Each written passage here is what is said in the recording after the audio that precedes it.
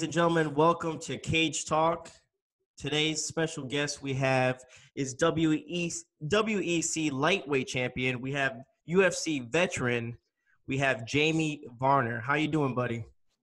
I'm doing well, Alex. Uh, thank you for having me on. Hey, no problem, man. And a lot of people, uh, when they talk to me, they're like, "Do I have to say Mr. Titan?" I'm like, "Absolutely not. You can just say my name. It's fine." they're like, "I don't think I want to say that." Like, I understand completely, but uh, what's up, man? How, how's everything? How's uh, how's life? How's everything, brother?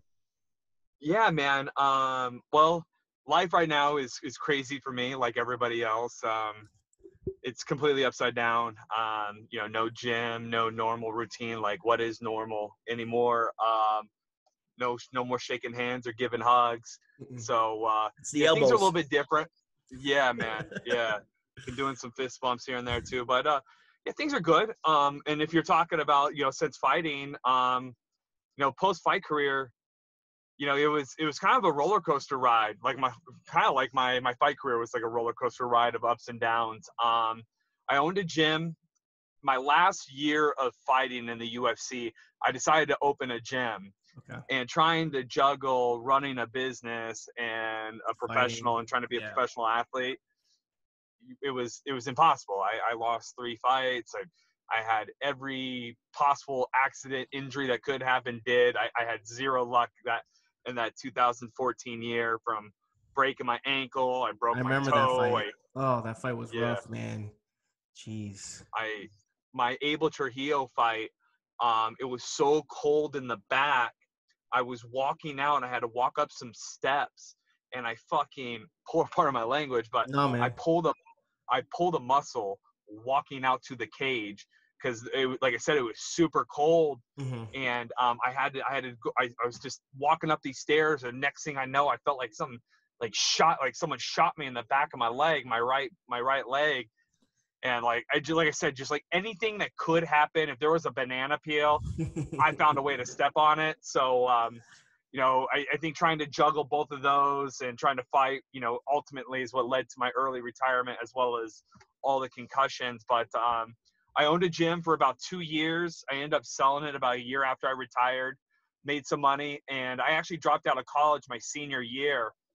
And um, so I took the money that I had, that I made um, from selling my gym, and I used that to go back to college and finish my degree That's so awesome. went back cool finished my business degree um, i started off with accounting originally and then at 31 years old when i decided to go back and finish i forgot a lot of my math so i ended up finishing with a business marketing degree just so i could finish and get it done but um, um, i actually am in medical sales now and i work for a great company bayer b-a-y-e-r um, you know they make Aleve and stuff like that. They actually have a, a radiology division so i actually work in bayer's radiology division um, selling contrast injectors, um, software, as well as pharmaceuticals as well. So, um, pretty, it's pretty cool, man. Like my transition from fighting to going back to college and being a student at 31 years old, and I went man. on campus with all the 20 year olds. It was crazy.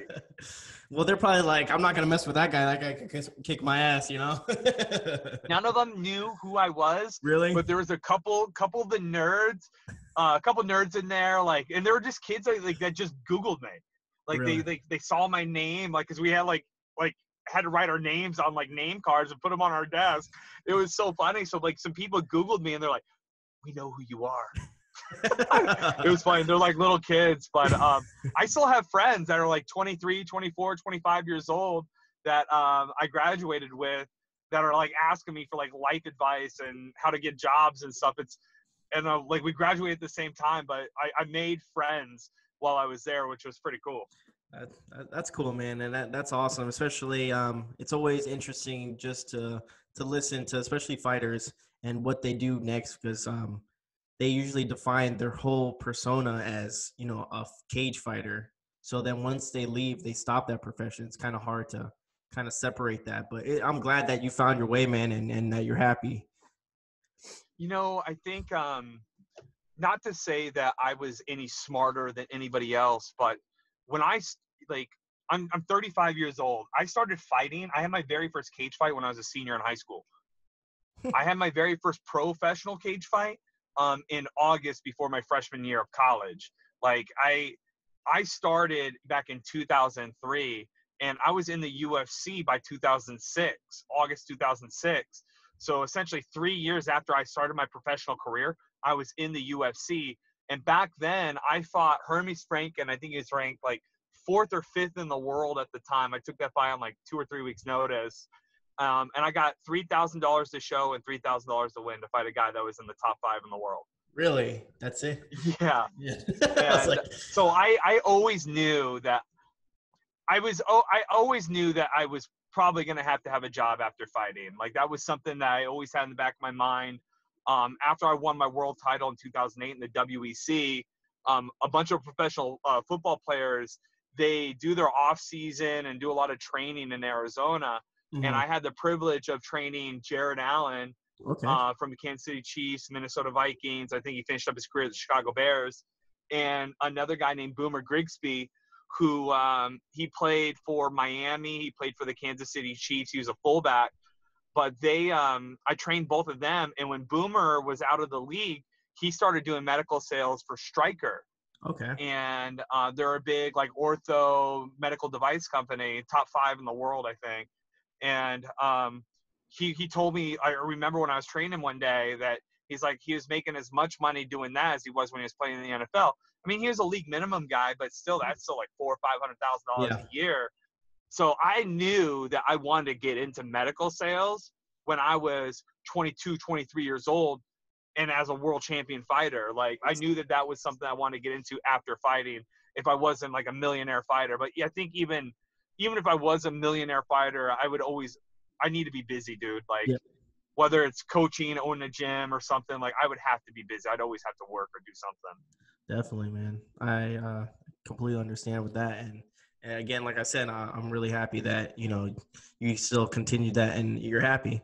Um, without with your career, I mean, I, I as a as a as a spectator, I love watching you because there was never a boring uh, Jamie Varner fight. I mean, it is always you had this mentality, man. Like you're swinging for the ropes. It's either you get knocked out or you're knocking the guy out, and a lot of people um, nowadays don't take that that approach uh, for the for the most part. I mean, as you can tell, like the the fight you, saw the fights uh, this Saturday with Usman. Um, I actually I didn't.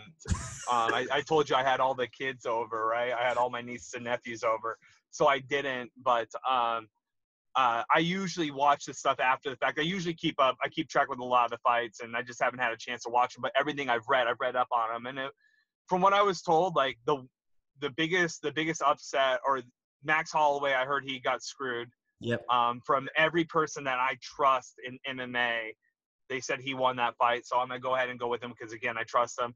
Rose Namajunas, I know that uh, from what I was told, again from people I trust, she won that fight. And then, um, you know, Usman did what he had to do. Like if Yep. I if I was Usman and I was gonna like, um, Jorge's only shot is to knock him out. Yep. So you smother him. You know, you, you don't fight a you don't fight a shark in the water. You drag that motherfucker up onto the beach, right? So Mhm. yeah, um, you know, I was pretty confident. Like I wanted Masvidal to win. I wanted Rose to win. I wanted Max Holloway to win. You know, I wanted those people to win, but um, my money my money was on Max actually, but I had my I also had I my heart was with Rose. My Mhm. money was on Rose, but my heart was with Masvidal, but my money was on Usman. Yeah, I mean, I, again, it, he played. A lot of people don't like his style. That's almost it's very similar to Tyron Woodley. You know, he's a wrestler. He takes you down, wears you down. Um, but again, it, it's not. I, I don't see a problem with that because again, a lot of people wouldn't pay just to see that fight just because there's it's a boring fight. But again, it's a smart fight. It's it's what he knows best, you know. And at the end of the day, it's it's um, that's what it comes down to. I mean, yes, it's not the prettiest style to watch, but I mean, it gets it done.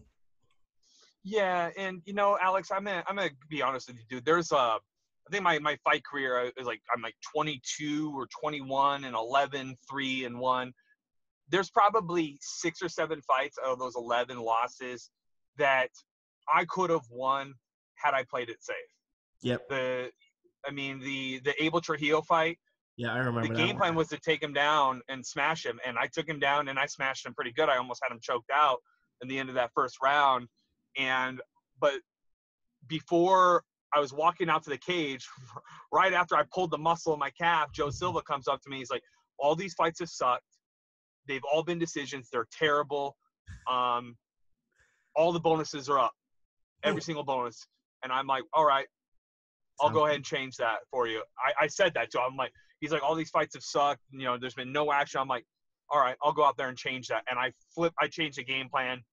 Second, I'm like, "All right, I'm throwing down." I thought I thought I had him wore out with the with the wrestling, and I always knew, I knew I could go back to it. Mhm. And then when I when I started teeing off on him in that second round, I thought he was hurt, but he wasn't hurt bad enough. He put me down. But uh, yeah, man, there's like there's at least six or seven fights I think in my career that had I played it safe, used my wrestling, and tried training like and tried going for just to win the fight and Instead decision as opposed yeah. to the finish. I always work towards the finish, dude. Like I, I don't know. I think it's like a wrestler mindset, but it's more of a. I think it's a less. I, I'm very impatient as a man, and I've always been impatient ever since I was a kid. Just been very impatient.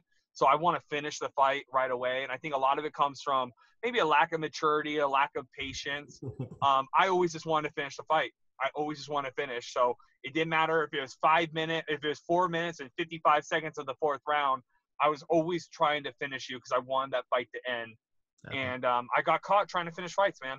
My Shane Roller fight, I clipped him.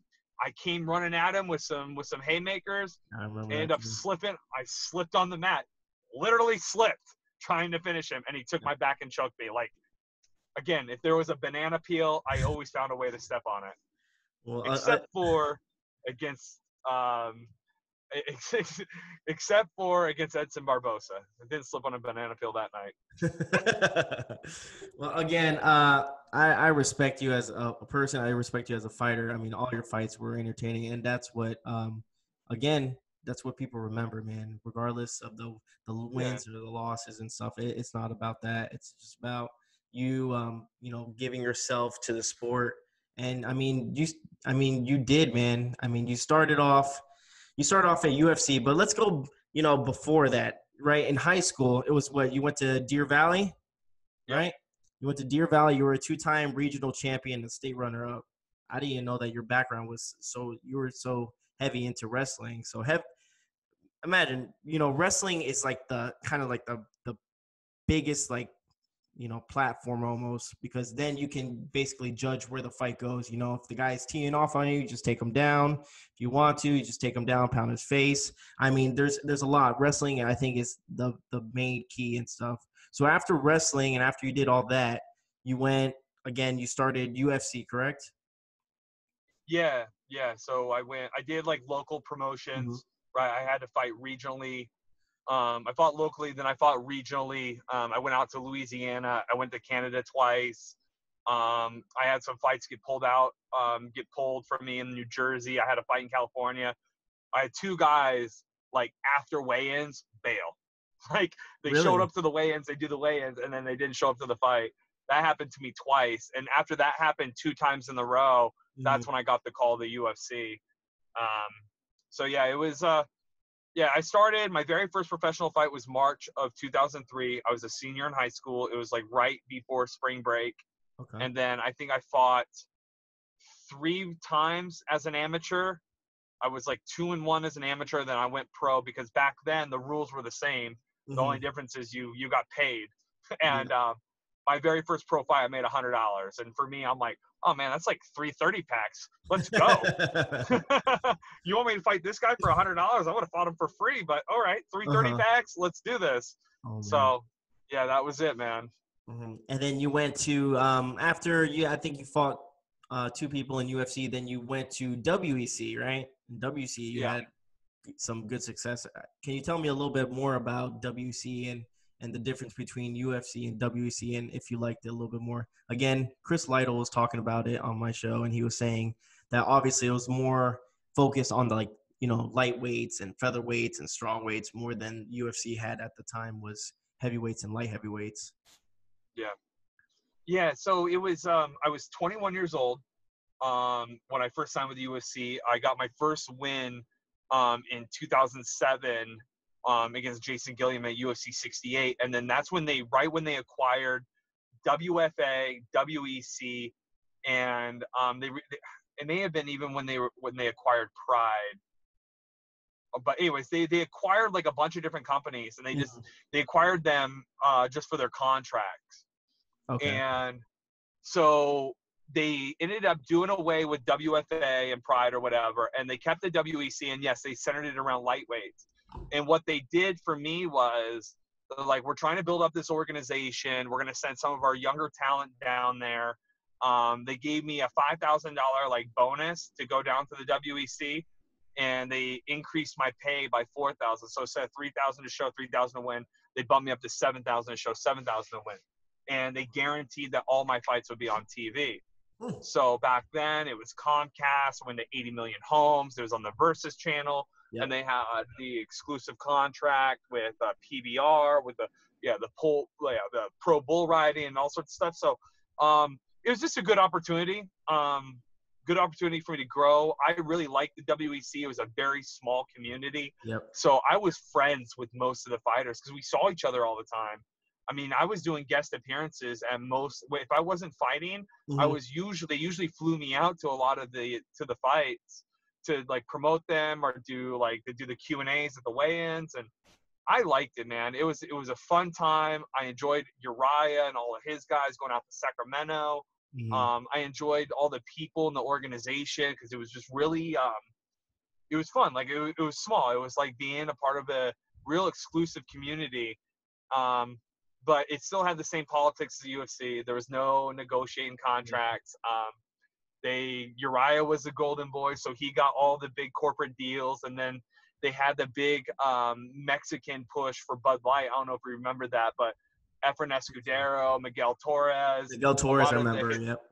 yeah, a lot of the Hispanic fighters, um, they got they got Bud Light money. They got and and there was Bud Light and No Fear were the big corporate sponsors, and they gave. I raced motocross. I did all Mhm. sorts of crazy shit. Like before Donald Cerrone was Donald Cerrone doing all the crazy shit.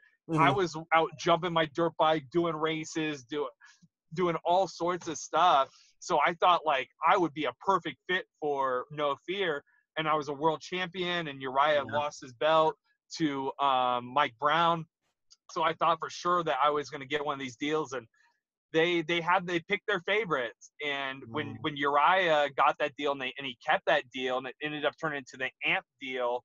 Um, like he got so much exposure because he got he was in like 75,000 7-Elevens Oh, really? Yeah. with, with no yeah man so he got a lot of exposure and then when Anthony Pettis came out they um and did his super kick like I, he got amp but I think he was also a part of uh he may have been on Uriah's like management team too because they got they got the amp deal as well so there was just like a lot of like politics and stuff dude and for me I was super emotional back then and I always felt like I wasn't good enough so like I always took things personally if I didn't get shit Yeah. and uh, so I really hated the business side of fighting.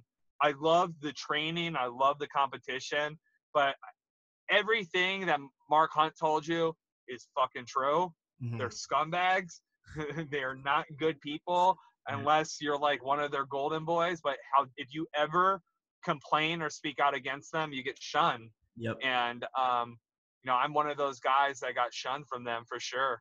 Yeah, he, he was saying I think I think he was uh, lasted in the UFC for around like five five to six years, and he no I think it was seven years or something like that. And he's told me six of the years that he was in UFC, he was like I was unhappy. He's like I'm happy now, and I was I just I felt bad for him, you know. And again, he was telling me that you know Tim Sylvia is you know I think he's doing a GoFundMe page because the UFC doesn't pay for some of his injuries, especially the injuries. I think it was from the Frank Mir, if you remember that. It was a long time ago. Yeah, the he broke his armbar? arm.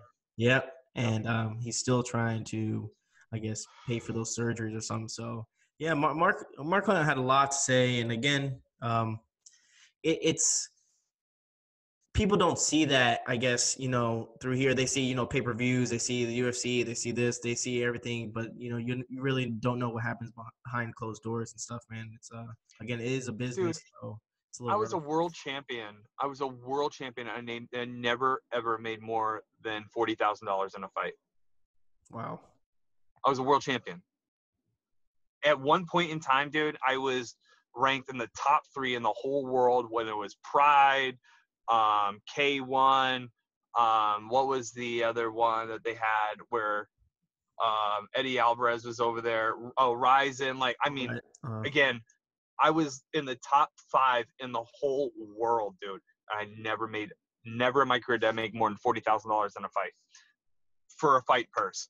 I've I made money on bonuses because that's how I had to fight. I had to go out there and throw down like a motherfucker, mhm. so that way I could almost guarantee that I was going to get a bonus. Because So- that's how I made my money. You, you I made more money losing than I ever did winning. So did you? So do you think your your that changed your fighting style just because you needed more money and stuff like that? Just because you saw like, no, no, because I'm a finisher. because okay. I told you I was, you know, I'm not, I'm not like I don't want to pin this on the UFC. Like they're assholes in their own right, but my losses were because of me. Mhm. I'm impatient. I was impatient. I was immature. I wanted to finish the fights instead of being patient, instead of showing, you know, I guess a little bit more maturity. Um, you know, I went, I went in trying to kill. I tried taking heads off, and again, it, like, like you said, it made me super excited. Like there was never, you're never like Jamie Varner's fight. I'm gonna go ahead and fucking go fill up my drink now. Like you're like, holy fuck, this this could go down. Like anything could happen with this Mhm. guy. So um, I did like that, and I do. I still get a lot of respect from people. Like a lot of people still like that fact about me. I still get some haters here and there, but I would say more than anything, I get I get a lot of support for my style and what I brought to the table. Um, you know, during during my uh, my UFC and WEC tenure. Definitely, man. Again, um, um, people there who, who hate, they're they don't know shit. I mean, we we loved it. And again, um, talking about WEC, and I know that you said you know you were a champion. How how was that feeling? How talking go through that fight because that's one thing I haven't talked to someone is you know winning uh you know a world title. You know how that feels. You know what kind of emotions were going through you. If you remember the fight at all, because some people do, some people don't. Some people are. It's almost like being drunk. You remember like bits and pieces of of of the moments. So if you can explain a little bit. Yeah, um, that's actually it's a good question, and um, there's a little bit of a backstory. So Go ahead. um, you you mentioned it earlier. Like I was a two-time region champ, Mm-hmm. but I was a state runner-up, Yep. and then I went to junior college, and I was a national runner-up, and then I went to a Division One university, and I actually never competed at nationals because I dropped out before my senior. I redshirted my junior year. Then what would have been my redshirt senior year is when I started fighting in the UFC. So I actually had two more years of eligibility left in college that I was going to compete. Um, so I was always kind of the bridesmaid and never the bride. Um, when I competed in college, I was my the college I went to, the university I went to, Lock Haven University of Pennsylvania. They're Division One for wrestling, but they also had a boxing team. So I was able to do both sports. Wrestling practice was from 3:30 to 5:30, and boxing was from 5:30 to 7:30. So I was doing two a days, three Okay. a days sometimes because we'd have morning workouts for wrestling, and then I would also meet up with uh, one of my boxing teammates or whatever and do hand pads and stuff like that on my own. So I was working out a lot in college, three, four times a day, depending on the day. And um, so I did both, and I ended up winning a national title in boxing. Um, it were there was there's like 65 universities in the country that Mhm. have boxing. West Point, Annapolis Naval Academy, I think Iowa State, Cal Berkeley, um, Lock Haven, uh, Gettysburg. Uh, there's a bunch. There's, again, there's a bunch of schools. Mhm. UNLV has a boxing team. Um, former pro boxer uh, Skipper Kelp was actually the head coach Oh. over there. So, anyways, um, I won a national title. But when I got into fighting, um, I still kind of had that like I didn't look at boxing the same way as I looked at wrestling and, and MMA because those were like my main sports. Boxing was something I did for fun. Gotcha. I was I was athletic. I had had some boxing experience when I was a little bit younger, but I was just I was able to get it. Like I, I picked up boxing pretty easily. I wasn't a very rigid like most wrestlers are super rigid and must. Yeah. I was always very fluid. Um, I, I've just always been kind of a well-rounded athlete playing baseball. I swam, um, soccer. Yeah, I mean, Uh, even your stance and stuff, you can tell. Like, you, you can tell when a, a wrestler is is you know standing up trying to box. Like, you can tell they just Yeah. look awkward. You know. yeah i i had more i i was again i was a little bit more fluid so when when going into that fight you know i had a lot of fears because again of constantly taking second i, I in my mind it's like i can never win the big one i Mhm. can never like like kind of like with with Donald Cerrone, right? Every time he gets into a big fight, he loses, Mhm. and I guarantee it that's in his head in some way. Yeah. And um, it was the same, and I had the same thing. Like every time I got into like a big match, I like I would lose, and so I had a lot of fear going into that. And the game plan was to take him down. It was your typical wrestler versus striker combo.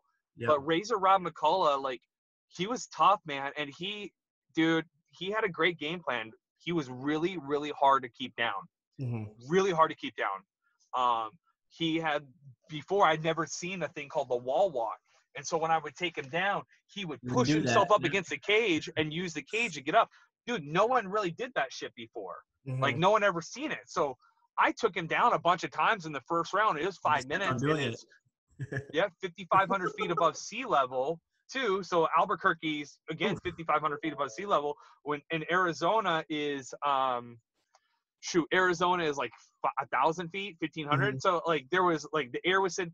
So after the first period, I was gassed and I go up, I go to my corner, I, I on my hands, my my arms are on my knees, I put my head down, and my cornerman Trevor Lally comes up, and he's like, "Hey, you're okay." He puts ice on my back. He's like, "Dude, we're gonna have to box him. Calm, calm as a cucumber. We're just gonna have to box him." He put his forehead onto my forehead. He's like, "You're okay. We're just gonna have to box him. You're gonna have to trust your hands. You're gonna have to box him. We can't keep this pace up." And I was forced to stand up during that fight. And so the second and third round, it was almost like an out of body experience. It felt like I was playing a video game. So I do remember certain exchanges and certain feelings and certain thoughts from the fight. But I just started, I, I just got into a rhythm, man.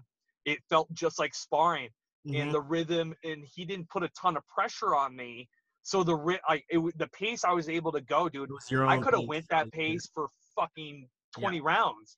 We had a good I I was he was a very traditional Muay Thai boxer and he again he wasn't a pressure fighter so we just had a good rhythm going and I just remember hitting him with some shots and moving and I don't think he expected me to have the striking that I did Mhm. and you know be, between that and then the fear of the takedown um, i was able to put a cross hook cross combo together and that's ultimately what lit him up Mhm, man yeah. like he wasn't he wasn't ready for punches and bunches i think he was just looking for overhand right to a double leg and not thinking about you know putting you know me putting combinations Mhm. together so yeah man it was surreal and to to win that fight was probably the best it was the best feeling i've ever had because it was um all those doubts and insecurities i had about myself that i wasn't i wasn't good enough um that i was always going to be the bridesmaid that i was i would never be cut out to be a champion or whatever all that bullshit evil poison i told myself it went away man in like a i second. was i was finally good enough. Yeah. finally finally good enough. Again that that's that's pretty cool and it's uh it's a story a lot of people don't hear about you know especially you know the emotions because you can't see that i mean obviously after when the fighters are done and especially the interview part man it's like uh weight's been lifted man. I mean it just it just ex- drains you and and it, i'm i was oh man i remember watching that fight. I watched it uh, you know a couple days ago. It's it's still one of my favorites uh, one of the other favorites of of mine of yours was uh donald cerrone obviously both of them i mean those matches were man, you guys threw everything at, at each other. That that's again one of those oh that those wars. Like no no one realizes like the day after. Can you explain everyone what the day after a fight is? Because I mean, if someone's not a fighter, they don't they don't realize all that shit and all the soreness and all that. I mean, yeah Well, like, the first fight was worse than the second fight. Yeah, um, I, I was able to walk out of that first fight essentially unscathed as far as injuries are concerned. Um, so the very first fight, I broke my right hand in the first round of that fight. I missed. I, I either hit him on the head or I missed the head and I hit the mat. I snapped my. I had a compound fracture on my right index metacarpal. I think in the third or fourth round, I kicked him in the face with my left hand or with my left foot, and I broke my foot going into that fifth round, I had a broken hand where the bone was sticking out. I had a broken foot. Um, but I was ready to win. I'm like, I'll jab him, I'll take him down, whatever it takes. I got this. Um, we got into an exchange and I was on the ground and he he kneed me in the face. I remember. And you know, like I loved how he was able to spin that to where it was like me quitting, but he knows the rules. yeah. He knows the fucking rules. He knew the rules. He knew I was on the ground. So he was able to spin. I think he was looking for a way out. I Mhm. think Donald, he would he had lost every single round of that fight. He got dominated in the first, got dominated in the second, got dominated in the third, and he got kicked in the face in the fourth. He didn't win any rounds. Mhm. So I, I don't know. I, I felt like he was looking for a way out. If he wasn't, a professional kickboxer kneed me in the face. Even a glancing blow. I had a lesion on my on my right retina. Um, I was light sensitive, couldn't see out of it for like three days. I was light sensitive for like two weeks. Um, you know, like that was that's probably like the one thing about my career that's like the one stain on my career that really kind of bugs me is that that moment that fight and how the fans kind of turned on me um because i wasn't able to defend myself. I wasn't able to fight again for almost a year dude. I had to have two reconstructive surgeries on my hand. Like wow. like i was i was i was out for a year. I couldn't i couldn't train for six months because i had these pins coming out of my hand. Dude it was it was wild. It was it was a wild time um but the the feeling after that fight was i, I felt like i'd been in a car accident man. I wasn't normal for man i, I was my my pee was like dark brown like dark dark brown Mm. after that fight. Like my my next like probably three or four pees were like dark brown. Um i was extremely sore. Uh, i think i just laid in bed for you know after like between doctor's appointments all i did was lay in bed Mhm. um they gave me a bunch of vicodins and shit and i i just i never did drugs never took pills Mm. so i i didn't take any i didn't take any painkillers during that whole time so i was just like laying in bed just in pain pretty miserable for about two weeks Wow, man, that's that's crazy. And again, um, um, that fight and the way uh, people go through, especially fighters. Like, I mean, again, you had that warriors mentality, man. I mean, you've you you suffered injuries during fights that I know, and you just kept on. You know, the last one was the one in the UFC with your ankle. I mean, that was, man, that's that is gruesome, and I mean it in the- the best way possible. I mean, you were standing on on your feet with a broken ankle, and you were still throwing bombs like that. That is like, you understand that's that mentality, man. To have that, to just say fuck it and just keep going is is unbelievable. I mean, again, how sad is that that i was so much better than him that I, with one fucking foot i was still able to win that round he's i hate james krause he's such a bitch i wanted to fight him again. He's a fucking pussy. And he's like talking shit. Go get a win. Motherfucker i was a world champion. I saw you get knocked out by donald cerrone. Yeah. you know you got fucking lucky. My ankle fucking broke. Yeah. you know it was from his kick. It was from his kick. So good. Good for you. That has like never fucking happened in mma where someone kicked someone's ankle and then broke it. Like it's never happened. Like he literally won the fucking lottery and i wanted that fight again so bad and all he did was talk shit. Ah i hate that motherfucker but yeah that was a good fight and that was like i think that was that was an opportunity for me to like show all the naysayers that said i quit and gave up in the don cerrone fight. Like yeah. no man. Like the doctor stopped that fight. I wanted to keep fighting. When the motherfucker's like how many fingers am i holding up? and i just guessed two and he had three like what am i supposed to do with that? Yeah, I get you. And how, how many times did you? I'm trying to remember because I remember. I think you. How many times did you fall in that fight because of the, your ankle? It was like three times. It was. three or What's- four yeah i don't know I, I didn't count i was just trying to beat his beat his ass i was trying to finish him so i didn't i knew i was fucked i knew i was fucked So I if uh, if there was any any way possible of having a rematch, you coming out of retirement, would you would you fight him? Yeah, I would come out of retirement for. it. I I hate him. There's like there's like two guys. Okay. There's him, and then I have a former training partner named Esteban Payan, and I hate that motherfucker too. um, he's a bully. He he beat up one of my am. So he was a pro fighter, fought in Strikeforce and all this shit. Mhm. Um, there was a we had an amateur guy that was like 0 and 1, and he sparred with this amateur and broke the kid's orbital and his nose in one sparring session. Like wow. just completely teed off on a guy that Yeah, what kind of sparring is that, business. man?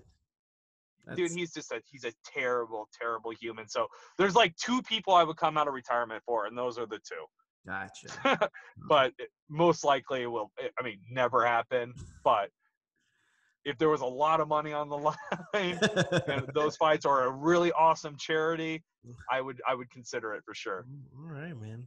Ag- ag- Again, um, you uh, you've always been a a fan favorite in my eyes. I, I always watched. I loved watching you in the WEC. I loved watching you in the UFC, man. Um, you did great things. I loved your style, and the most important thing that kind of stuck with me with your style of fighting is that you gave it everything you had. You know, it wasn't like you were trying, like we talked about before. It wasn't like you were trying to just you know outbox the person just to to win the round. Even if you're Grind winning the a round, you're you're yeah. going you know haymakers all day. And you know what? I, I really respect that as um um as you as a person and as a fighter, man. And and I loved it. I loved everything about it, man. I do appreciate you, brother. thank you man And- appreciate and- you that was that was awesome to hear man thank you for that No problem, man. And uh, again, thank you for coming on. Thank you for spending time. I know I you probably want to get the hell out of your car and stuff and go home. I know you got a couple uh, chocolate labs, huh? I saw them on. Yeah, I got a couple puppies at home. I have uh I saw some stuff on the honeydew list that needs to get completed today. No man, But- definitely. Uh, we'll keep in, in contact again. Um, I'll I'll text you here and there. Not not to bother. Yeah, Alex.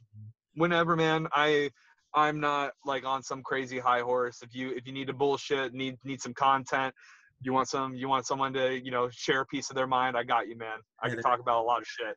And uh, th- thanks again, again for showing up, and I do appreciate you. And again, the people that watch this, they appreciate you too, man. So thanks for everything, buddy. Perfect, man. I hope you have a great day.